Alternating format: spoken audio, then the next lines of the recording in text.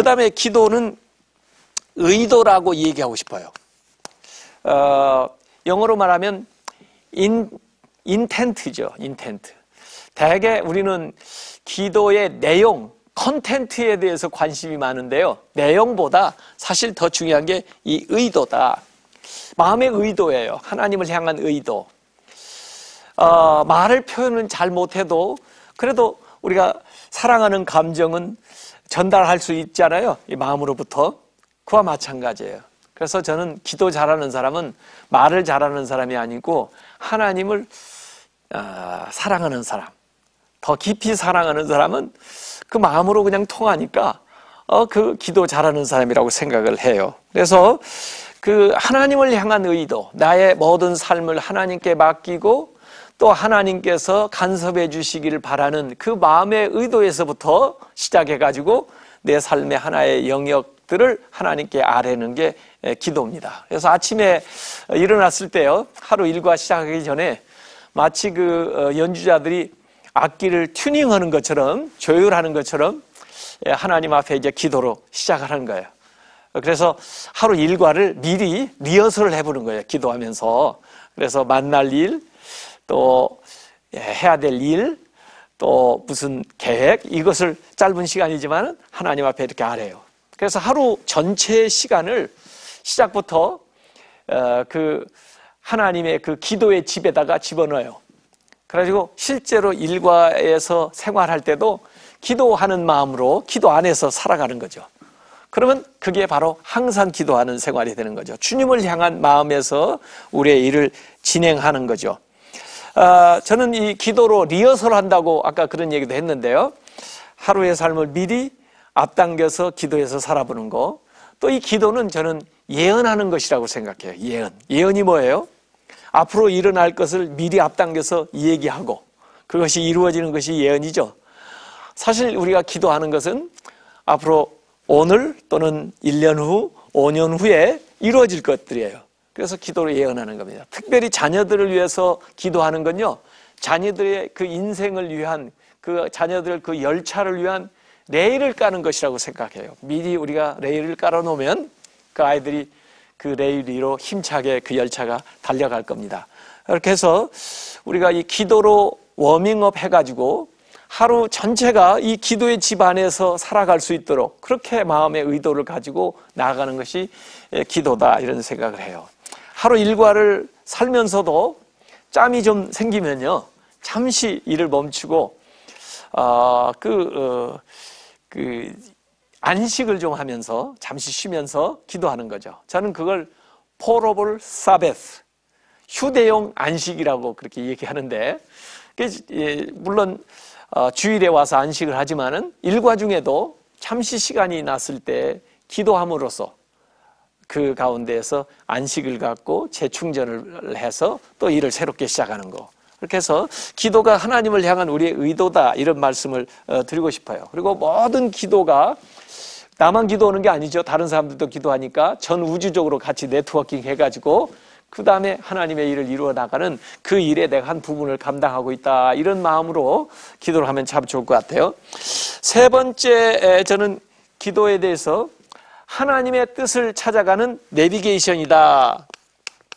요새 뭐 내비게이션, 어, 을 많이 쓰고 있기 때문에 어, 요 말이 좀 이해가 될 것 같아요. 예, 그래서 어느 방향을 딱 설정해 놓고 어, 가게 되면은 저 어, GPS에서 이제 가르쳐 주는 거죠.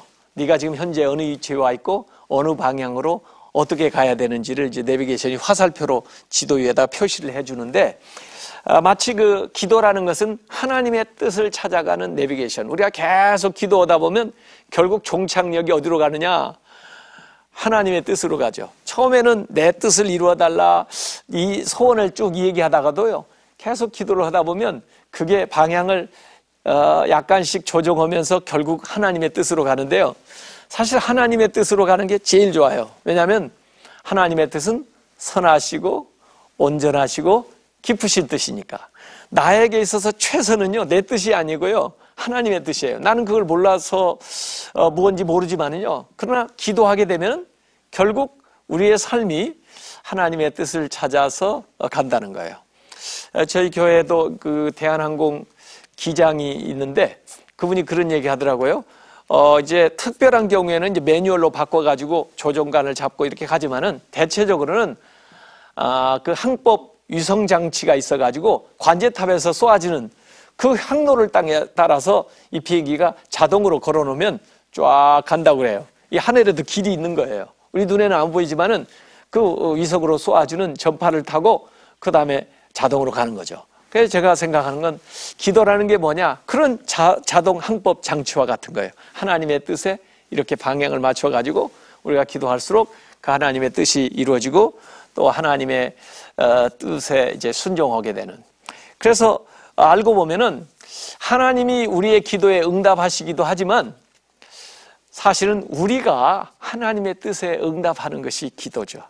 그래서 기도를 통해서 우리가 하지 못했던 그 하나님의 뜻을 이루어 나가는 그런 관계가 생기게 됩니다. 네 번째 이 기도를 뭐라고 어, 얘기하고 싶으냐? 기도는 기도하는 사람을 변화시킨다. 변화를 시켜요. 기도할 때. 기도하지 않으면 변화가 잘 일어나지 않습니다. 어, 사실 기도를 왜 합니까? 사실은 그 현재 현상 유지하는 걸 저항하기 때문에 기도하는 거예요. 현실에 불만이 있잖아요. 에, 내가 만약에 아프다 그러면 건강해지기 원하시죠? 또 자녀들이 참좀 아, 좋지 않은 길로 가고 있다. 그러면 그 아이들이 바뀌어지기를 원하시죠. 또 사회 생활이 여러 가지 좋지 않은 일들이 벌어지고 그러면 사회도 바꿔지기를 바라죠. 이 현상 유지를 원하는 게 아니고 현상이 좋게 변화되기를 원하는 건데 이거 어떻게 보면 어, 거룩한 어, 그런 어, 그 불만이라고 할 수 있어요. 현실 현실에 대해서 이걸 우리가 기도로 표현하게 되면은 변화가 일어나는데 우선은 기도는 기도하는 사람부터 변화시키더라고요. 그래서 자기가 변화되고, 그 다음에 나아가서 환경이 변화되고, 어, 이렇게 되는 거죠. 그, 어, 야복강에서 야곱이 이제 다가오는 그 애서, 위험이죠. 예, 자기를 죽이려고 어, 병사들을 데리고 나온다고 하니까 얼마나 두렵겠어요? 그 환경을 바꿔달라고 처음엔 아마 기도하기 시작했을 텐데 그 야복강에서 결국 어떻게 됐습니까? 그 기도를 통해서 자기가 변화되죠. 그래서 야곱이 이스라엘로 변화가 돼요. 그러고 나서 가보니까 에서도 변화됐어요. 어, 에서도 어, 이 야곱을 쓸어 안고 영접을 하게 되잖아요. 또 이전에 야곱이 체험했던 그 하나님과의 그 관계가 더 좋아지고 어, 그 하나님을 더 알게 되잖아요. 그리고 야곱이 더 믿음이 성숙한 사람으로 변화되어 나가잖아요. 그래서 기도하게 되면요. 이렇게 자신의 변화부터 시작해서 환경이 변화되고 또 하나님과의 관계도 한층 더 깊어지면서 성숙하게 되는 그런 단계로 어, 변화되어 어, 나가는 거죠. 그래서 기도하게 되면은 우리가 하나님의 성품을 점점 어, 더 닮아, 닮아가게 되고 일 중심의 삶이 사람 중심으로 또 하나님이 주시는 비전을 따라 살아가는 어, 이 삶으로 점점 이제 변화를 맞이하게 되는 것이 이 기도다 이렇게 얘기할 수 있어요. 또 기도는 다섯 번째 저는 그 싸움의 대상을 바꾸는 것이다 이렇게 얘기하고 싶습니다. 싸움의 대상. 이 우리가 삶을 살다 보면요 참 여러 가지 것들과 싸우고 있잖아요. 네. 뭐 경제적인 문제도 있을 수 있고요. 또 어떤 자기를 위협하는 어, 그 어, 세상일 수도 있고요. 또 자기가 이루어야 될 비전일 수도 있고요. 이런 거하고 씨름하면서 우리가 살잖아요. 그런데 우리가 그걸 감당할 만한 그 역량이 안 돼서 어, 그 참 어려움을 겪고 그렇게 힘든 삶을 이제 살아가는 경우가 많은데 이 싸움의 대상을 바꾼다고 하는 것은 그 문제와 나와의 싸움을 가지고 문제와 하나님의 싸움으로 이렇게 바꿔놓는 거예요. 그 좋은 예가 아, 골리앗과 다윗이 싸우는 거예요. 이 골리앗과 다윗이 싸우면요. 사실 골리앗이 100번 싸우면 100번 이기게 돼 있어요. 왜냐하면 골리앗은 챔피언이잖아요. 장수잖아요. 또그 어, 칼을 잘 쓰고 무기도 좋고 에, 신체 조건도 탁월하고 어? 이 경력이나 타이틀 모든 면에 있어서 골리앗을 어, 이길 수 있는 사람은 이스라엘에 아무도 없어요.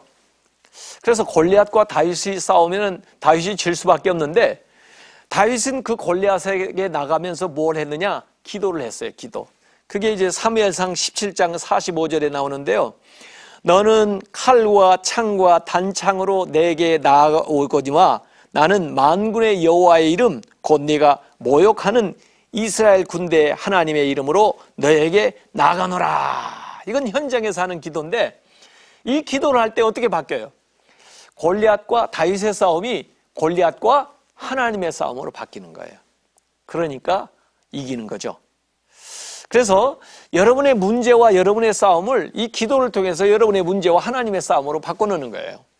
여러분의 비전을 여러분이 이루어야 되겠는데 여러분의 비전과 여러분의 싸움을 여러분의 비전과 하나님의 싸움으로 바꿔놓는 수단이 바로 기도라는 거예요. 그래서 나의 문제를 하나님의 손에다가 이렇게 갖다 얹어 놓는 거죠.